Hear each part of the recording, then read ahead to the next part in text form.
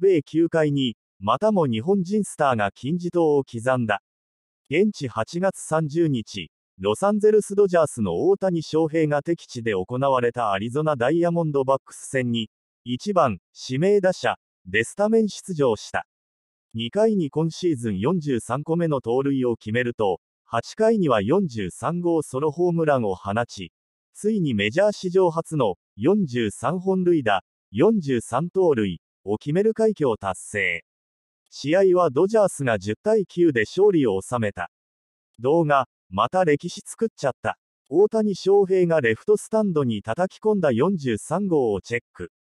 43から43。2リーチをかけた大谷は4点リードで迎えた8回。西走者なしの場面で相手4番手の3球目ストレートを振り抜くと、打球は逆方向のレフトスタンドに吸い込まれ、大きな追加点を挙げた。この瞬間をドジャース公式 X、旧ツイッターはまず、メイキングヒストリー、歴史を作る、と書き出し、史上初の43から43シーズンは翔平大谷のものだ。と興奮気味に綴った。さらに、MLB 公式サイト、MLB.com のマイケル・レイノルズ氏は、この試合で、スーパースターは43個目の盗塁と43本目のホームランを放ち、43から43を達成した史上初の選手となった。1998年にシアトルマリナーズで42本塁打 &46 盗塁を記録したアレックス・ロドリゲスを超えたのだ、と、こちらも手放しで称えた。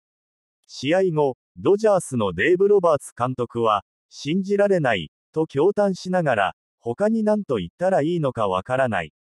翔平について、これ以上の最上級の言葉はないよ、と、そのパフォーマンスに脱帽。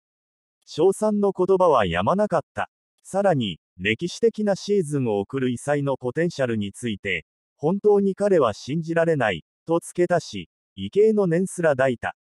MLB 記者のレイノルズ氏は、大谷は、2021年にアメリカンリーグで MVP を獲得した際に記録したキャリアハイの46本塁打まで、あと3本に迫っている。彼のこれまでの最多盗塁は26で、このシーズンに記録したものだ。まだ27試合も残っている。彼は MLB 史上初の50-50シーズンを迎えることに